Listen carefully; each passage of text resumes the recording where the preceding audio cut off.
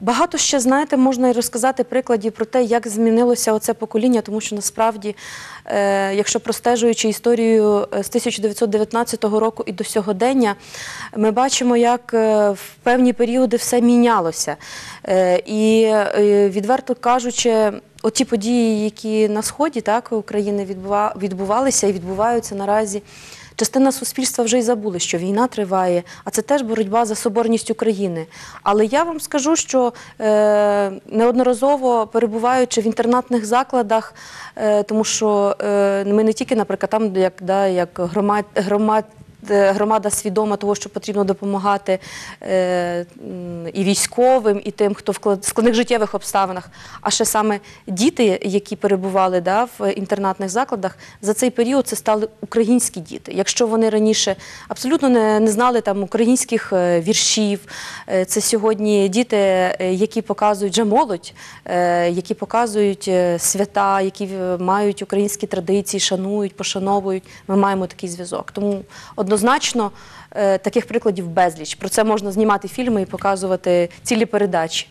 От повернімося ще у 19 рік минулого століття, е, бо ж сьогодні минає 102 річниця від проголошення акту злуки. І а що цьому передувало, коротко нагадав головний науковий співробітник відділу Державного архіву Хмельницької області Віталій Галатир.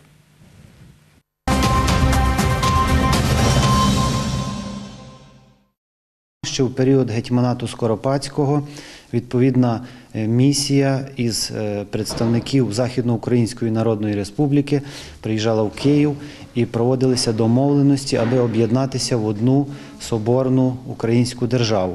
Але загалом, е, на жаль, в той час цих подій не відбулося, і з приходом уже директорії 1 грудня 1919 року у Фастові було підписано попередній договір про об'єднання е, двох державницьких утворень в одну, е, в одну країну, так би мовити. І е, саме з'єднання або об'єднання, або злука, як на той час говорили, відбулося 22 січня 1919 року о 12 годині. Ну, багато в багатьох людей виникає запитання, чому саме 22 січня. Це було приурочено до річниці 4-го універсалу, який проголошував незалежність України. І е, саме свято відбувалося на Софійській площі в Києві. Е, Розпочалося воно об 11 годині. На той час, як свідчать очевидці, які перебували в Києві, е, надзвичайно красиво були прикрашені вулиці, майоріли українські прапори, тризуби. На будинках, на балконах вивішувалися портрети провідних українських діячів. Об 11 годині рушила колона військових. І е, також брали участь тут і студенти, і гімназисти, тобто вся інтелігенція. О 12, рівно о 12 годині на площі було зачитано професором Швецем е, сам акт, сам текст акту злуки. Е, І промову е, вів Володимир Винниченко. Обмінялися грамотами представники Західноукраїнської Народної Республіки і Української. І таким чином, саме 22 січня, відбулося проголошення акту злуки УНР та ЗУНР.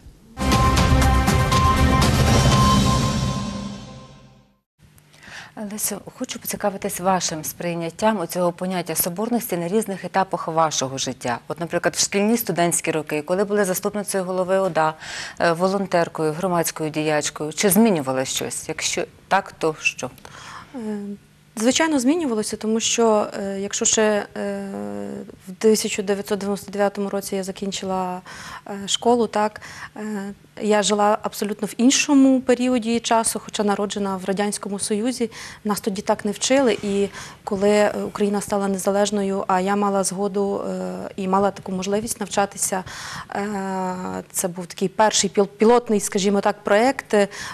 Одна із шкіл, яка навчала дітей з це тоді вже був другий клас, і з другого класу я навчалася в українсь- в українському класі, якщо тоді всі російськомовні були школи. І е, загалом в гуманітарному класі я е, навчалася, мала можливість глибше вивчати історію. Е, І тоді таке було піднесення. Ми робили заходи, але тоді ще я не усвідомлювала, наскільки це важливо. Бути усвідомлення самоідентифікації того, що ти українка. Хоча виховувалася зазвичай я в такій сім'ї, е, я дуже дякую Богу і долі за те, що мої батьки і мої, моя родина е, завжди е, були проукраїнські. Дід, дідусь мій в свій час був активним членом народного руху. І я думаю, що це теж, знаєте, десь від, відразилося на моїй долі в подальшому. Е, Відверто кажучи, що в студентські, студентські роки е, я не мала змоги бути в такому активному громадському русі. Е, Набагато глибше я це зрозуміла, напевно, вже тоді, коли почалися події на Майдані. Тому що ми стали е, дуже перед величезним вибором. Ми знову могли стати роз'єднаними і розірваними.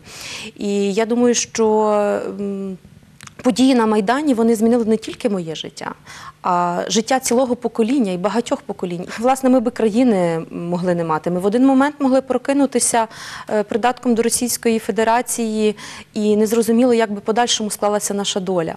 І е, сьогодні, е, вже переживши події на Майдані, усвідомивши всю відповідальність, будучи заступницею голови обласної адміністрації, відповідальність державної роботи, державної служби, е, відповідальність перед людьми, е, які ти ставиш завдання, яку ти проваджуєш ідею, тому що. Е, Це, це е, дало можливість усвідомити те, те, що е, саме поняття соборності України воно має бути е, з починаючи з самого народження і е, у всіх сферах нашого життя, і в сімейному житті, е, тому що теж дуже важливо, що показують батьки, як вони толерують і що вони, який приклад вони показують своїм дітям. Е, в садочку, в, в школі, в вищих учбових закладах, е, е, те, що ми бачимо з е, соціальних мереж, з засобів масової інформації. Ну і звичайно.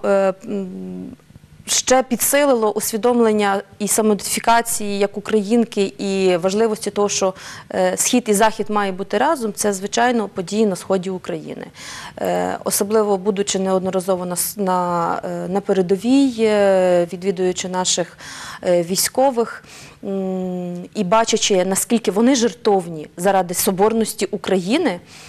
Ми як суспільство маємо це цінувати і е, передавати це молоді. От до теми війни е, ми продовжимо обов'язково ще тему війни. Е, Інститут національної пам'яті організував онлайн-зустріч Україна Соборна і начальник центрального міжрегіонального відділу цього інституту Богдан Галайко так визначив роль Поділля у темі соборності.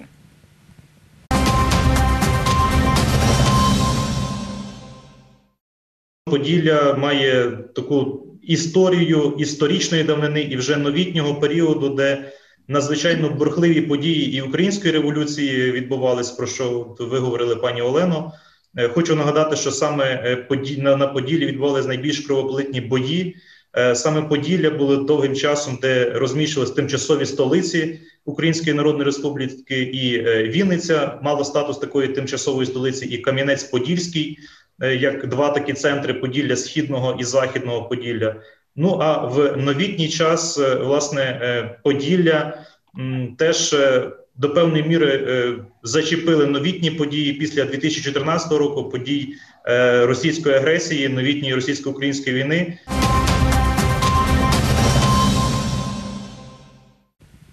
І в продовження теми війни уже 18 тисяч жителів нашої області є учасниками АТО і ООС. І в окопах захищають цілісність нашої держави представники різних регіонів. Ми про це вже і, і бачили, і говорили сьогодні. От основна така об'єднавча цінність зрозуміла. Так? Які ще от такі, е, ну, скажімо, які ще цінності об'єднують там, в окопах на Сході? Е, Людяність, порядність, е, цінність е, взаємодопомоги, любов, повага до історії, до краю, до свого генотипу.